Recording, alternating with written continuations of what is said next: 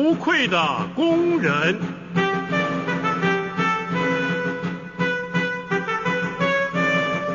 你当竭力在神面前得蒙喜悦，做无愧的工人，按照正义分解真理的道。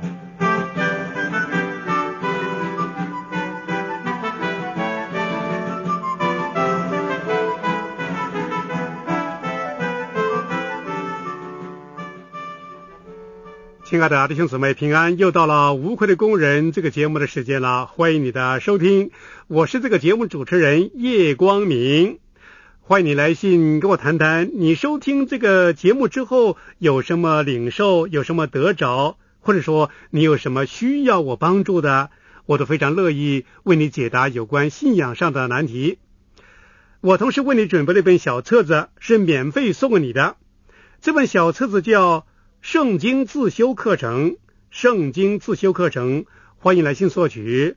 来信写清楚我们电台的地址，你写给我叶光明收就可以了。好，我们言归正传，今天我们要开始一个新的主题了，那就是建立基督的身体。建立基督的身体，这个题目是来自以弗所书的第四章十二到十三节的信息。经文这样说。为要成全圣徒，各尽其职，建立基督的身体，只等到我们众人在真道上同归于一，认识神的儿子，得以长大成人，满有基督长成的身量。为了建立基督的身体，神把许多工作和侍奉的恩赐加给了牧者，使他在教会负起一种像牧人那样的责任。去保护、喂养神所交托给他的羊群。那所以，我们思想的题目啊，主要是牧养。牧养，在讲到教会权柄的时候，那毫无疑问呢，教会当中最高掌权者，那就是耶稣基督，他是教会的元首，是统管一切、指挥一切的。至于教会当中可以有最大权柄的人，那就是由神所设立的一些执事，他们是直接受托于元首基督的。以弗所书的第四章十一节，圣经说，他所赐的有使徒，有先知，有传福音的，有牧师和教师。那我们要特别留意牧师的执事。神将牧师赐给他的教会，或者说，我们可以称牧师为牧者、牧人。那其实以弗所书四章十一节的牧师，原来希腊文就是牧人。新约圣经一共出现过十八次，而在大多数的经文当中啊，都是把它翻译作牧人的。那因为很多人在看牧师的时候啊。往往忽略了牧师的责任，其实就是牧人的责任了。圣经在四百多年前翻译成为英文的时候，他们把这个字翻译作牧师，并没有什么不妥当的。那因为牧师的意思在当时来说啊，并不是一个宗教的名词，而是普通的词句。那意思就是牧人了。著名的音乐家贝多芬呢，在写他的第十六首交响乐那个时候，他也称这个乐曲为《牧者交响乐》。那内容并不是描写教会生活的，而是描写牧羊人的，是一首讲关于牧人的交响乐。可是随着年代和文化的转变吧，牧师这个词啊，已经成为宗教上的一些专用名词了。他给人联想到的是一个穿着整齐的礼服，在礼拜天站在讲台上教训人的人，而失去了他原来的意思。但是，当我们讲到牧人的时候，我们会想到在那宽阔的草原上啊，带领一群牲畜的人，他们可能为了喂养和照顾他们，弄得满身都是泥。手也脏，脚也脏的，但是他却毫不在乎啊，因为这就是他的职责了。所以，牧师和牧人让我们联想到的图画好像是完全不同的，是不是啊？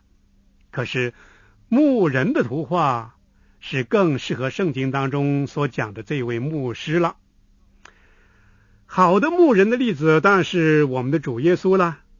他是羊群的大牧人，他为了属他的人，他门徒的利益而奋不顾身，他把自己的生命都投上了。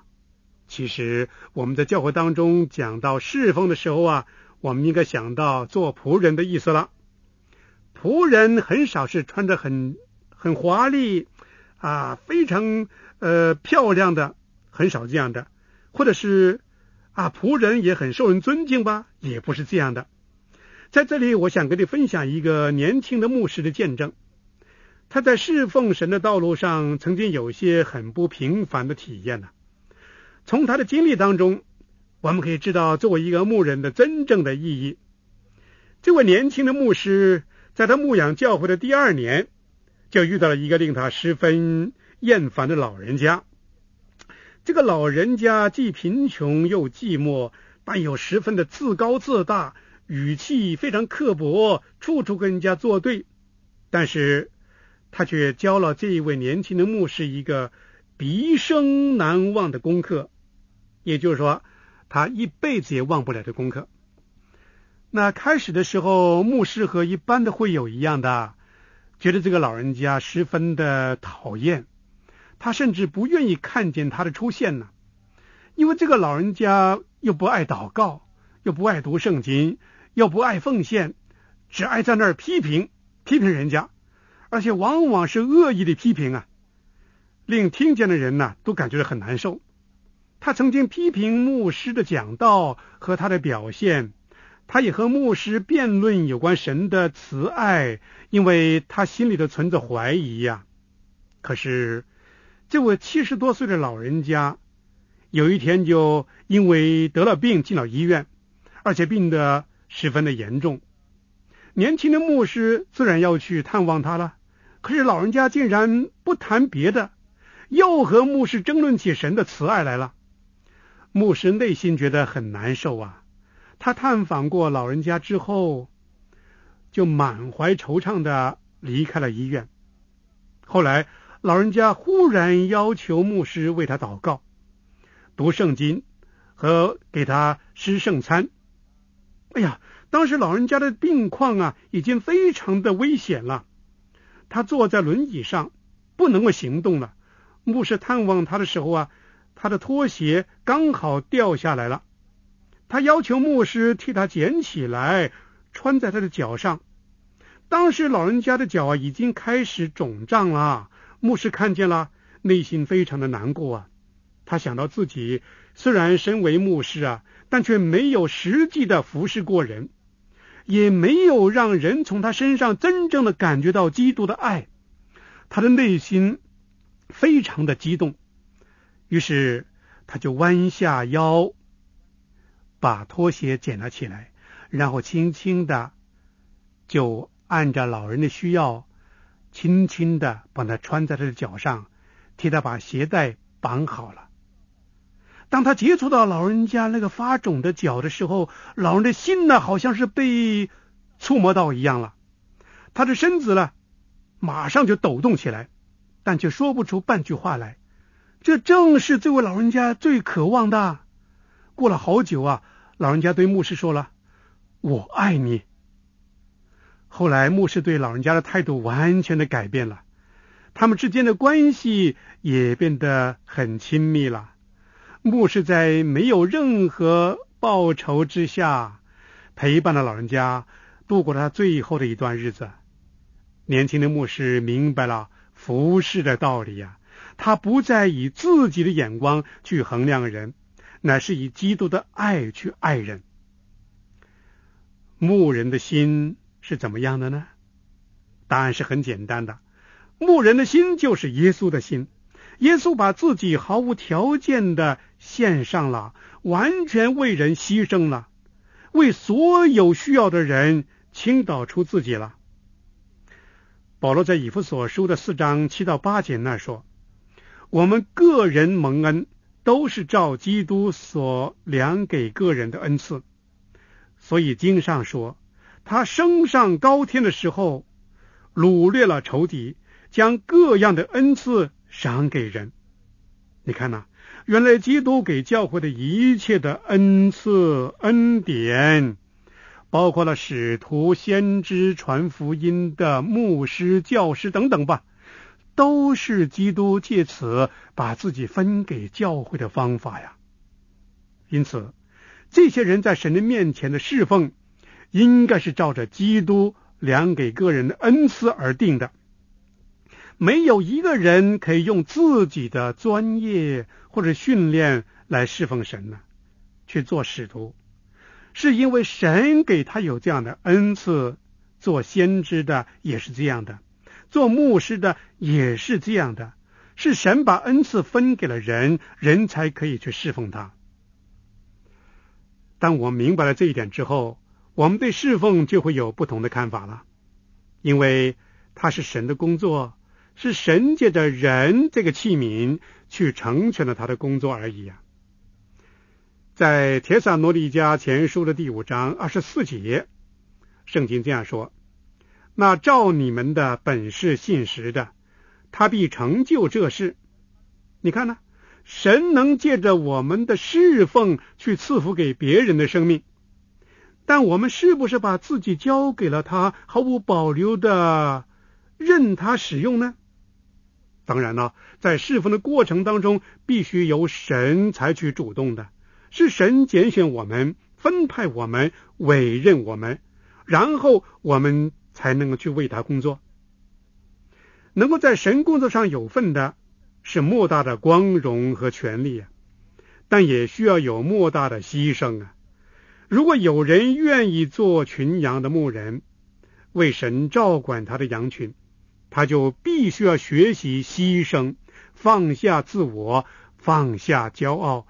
不求世界的享乐，不求生活的舒适，不求自己的荣耀。今天有谁愿意侍奉神呢？当神呼召你的时候，你是不是已经预备好了你的心智去回应主的呼召呢？你愿不愿意让神借着你去喂养和满足他的羊群的需要呢？因为你的服侍和牺牲，使他们能得到饱足。身为牧者的，能够有这样的心智，基督的身体就会得到建立了，神的名会得到荣耀了。所以，耶稣把不同的恩赐加给那些愿意被他使用的人，为要借此把他自己赐给教会。啊，紧接着下来，我们要来看看牧人的两个主要的功用了，就是。喂养和管理，我们来看看马太福音的第九章三十五节到第十章的第一节。以前我们已经讲过了，圣经的分段和分章是后来翻译的人才加上去的，也就是原来的圣经是没有的。那所以有的分段可能是不太适合的，应该是连贯起来更好一些的。好。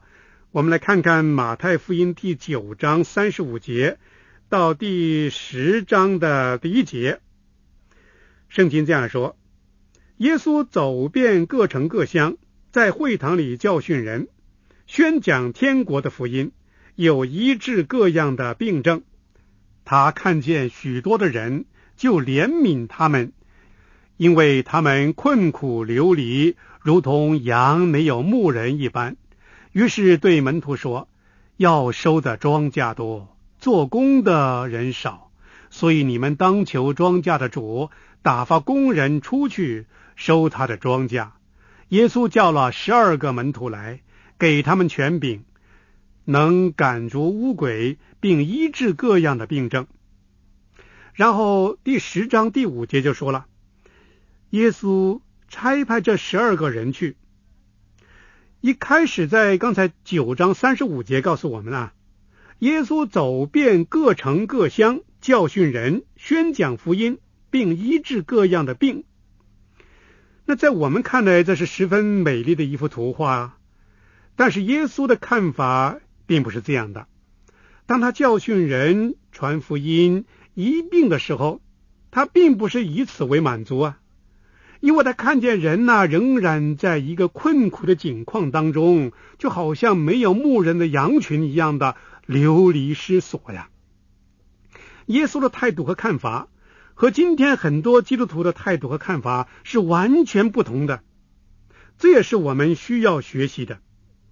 今天很多教会都说啊，让我们开一些大型的聚会，让人可以来得拯救、得医治。我们要请一些好的教师教导他们，这样的做法行得通吗？可以解决人的问题吗？不能。我相信耶稣看今天世人的景况，跟他当日所看、所感受的是一样的。流离失所、迷惘困惑、孤单寂寞，为什么呢？因为他们没有牧人，羊没有牧人，怎么行呢？整本圣经，包括了旧约和新约，都有讲到没有牧人的羊群是何等的可怜、危险，他们会成为野兽的猎物。也许你会说了，周围不是有教会吗？不错。当日他们是有圣殿的，那里有许多很好的祭司，也有摩西的律法、献祭礼仪，到处有许多的会堂，有拉比。可是耶稣仍然看见他们真实的景况啊！祭司和拉比不能照顾他们的需要，他们就好像是没有牧人的羊群那样的。在以西结书的三十四章四到六节那里，神讲到关于以色列人的领袖说：“瘦弱的你们没有养壮，有病的你们没有医治，受伤的你们没有缠果，被逐的你们没有领回，失丧的你们没有寻找，但用强暴严严的辖制。”因无牧人，羊就分散；既分散，便做了一切野兽的食物。我的羊在诸山间，在各高岗上流离，在全地上分散，无人去寻，无人去找。那其实今天的景况和当日的一样的。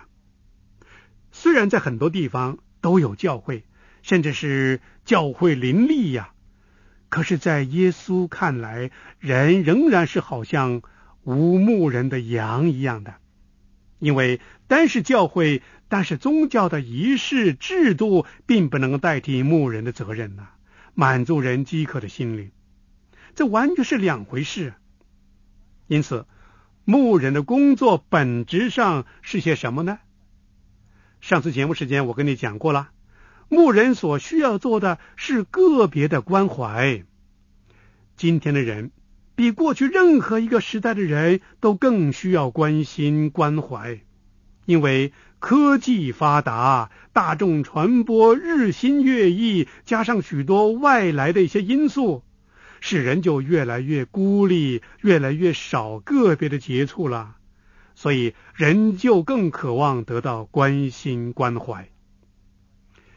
那虽然我们今天可以透过广播、透过录音带、透过电视听到许多很好的信息，得到很多很好的教导，可是这些工具或者是媒介，并不能够代替牧者的工作呀。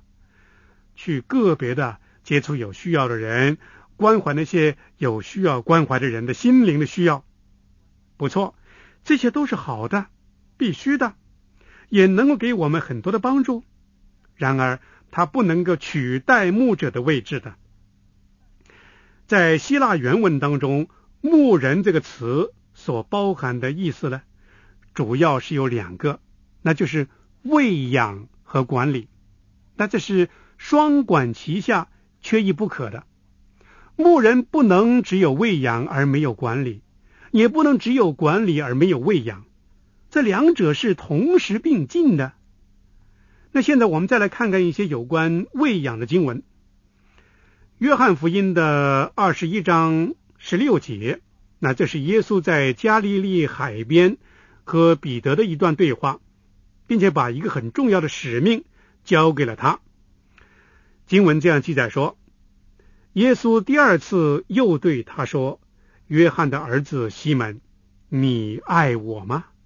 彼得说：“主啊，是的。”你知道我爱你，耶稣说：“你牧养我的羊。”啊，在这个地方啊，“牧养”这两个字呢，就是指牧人要喂养的意思了。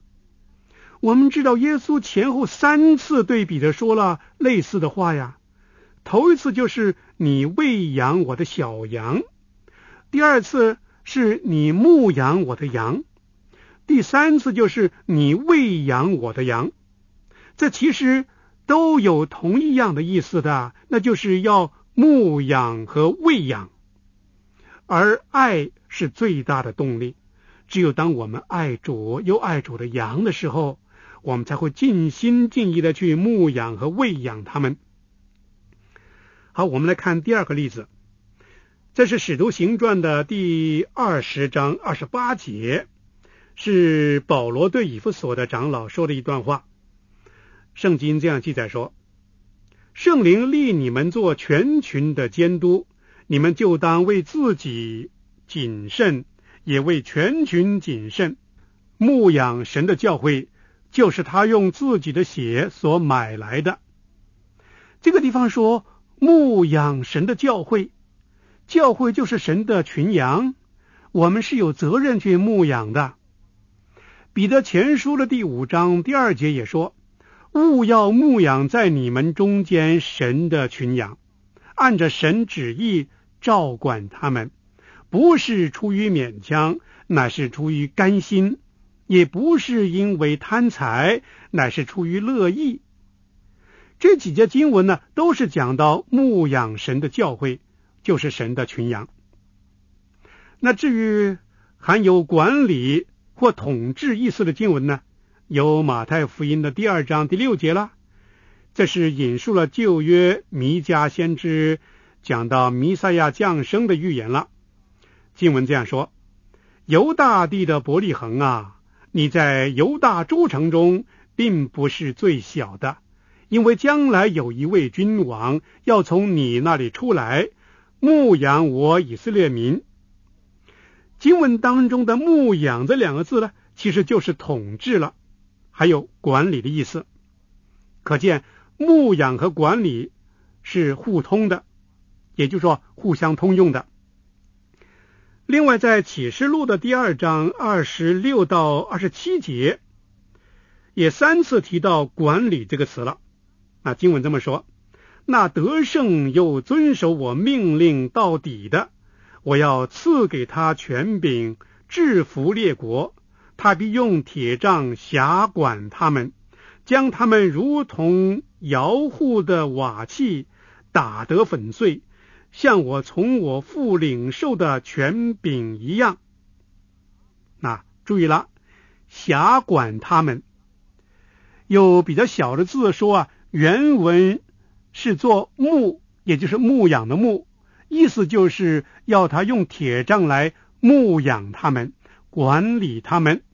因为经文所要表达的是牧人，所以要用“杖”这个字来形容了。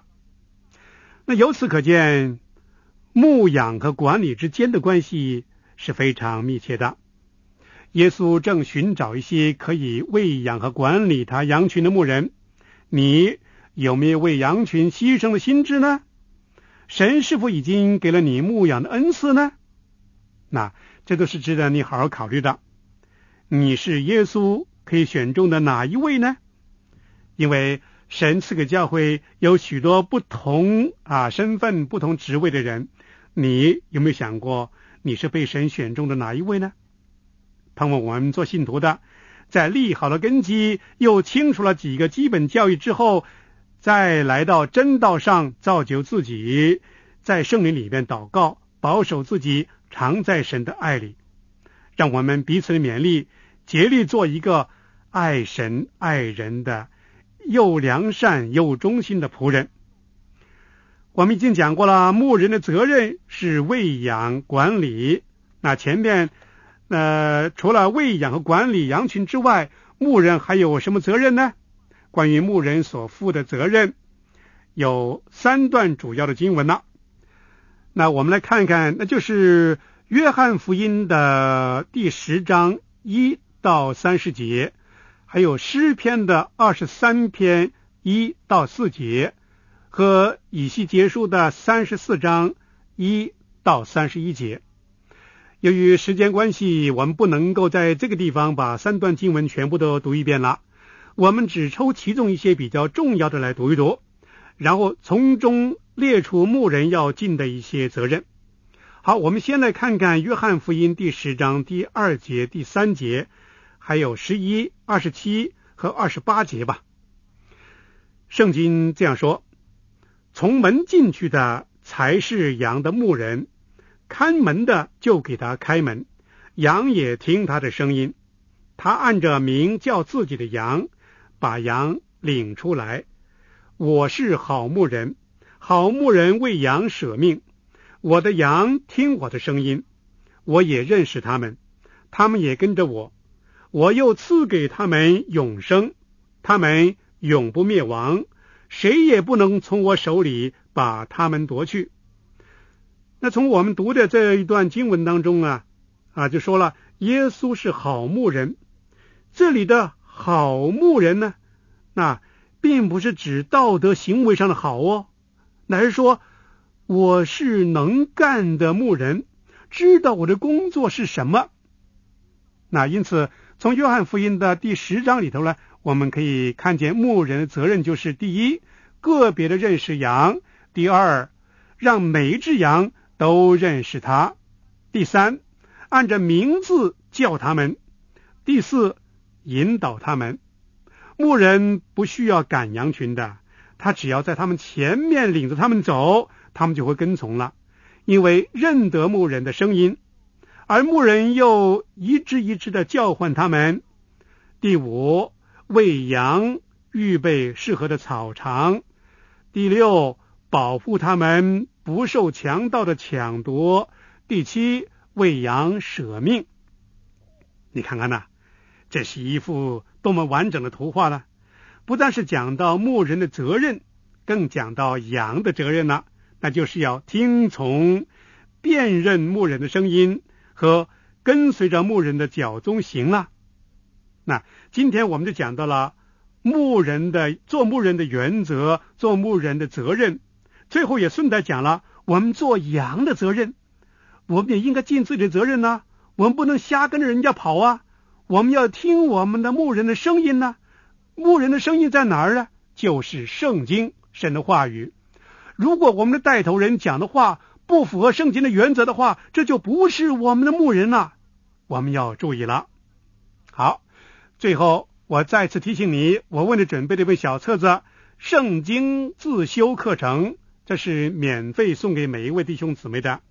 如果你想得到的话，千万别客气，赶快来信告诉我。来信写清楚我们电台的地址，你写给我夜光明收就可以了，我就会把《圣经自修课程》这本小册子寄给你的。好，下次节目时间我们再见了。